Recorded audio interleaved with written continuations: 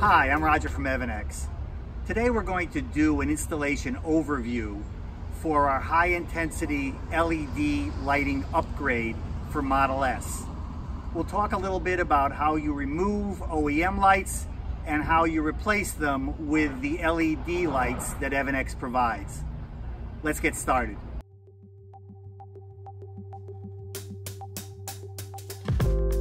Model S has a number of lighting locations that can be upgraded. We can begin with the front and the trunk. These configurations have varied as the Model S has evolved. We also have the interior of the car itself, the glove box, lights under the driver and passenger footwell, and lighting for the second row.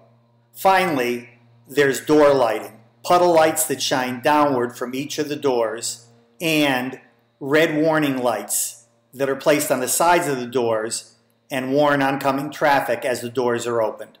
Each of these OEM lights can be upgraded as part of our LED lighting kit. To illustrate the LED upgrade approach, we're going to use one of the trunk lights for Model S. Recognize that lighting exists throughout the car, but the overall replacement technique remains exactly the same.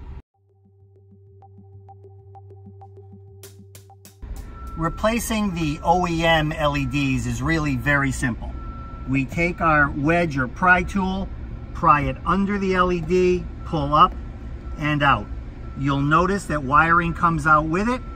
We then simply have to disconnect a connector by pressing down on the connector and releasing it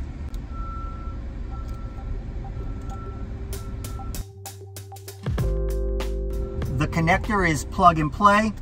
We then take a replacement high intensity LED, plug it back in using exactly the same connector.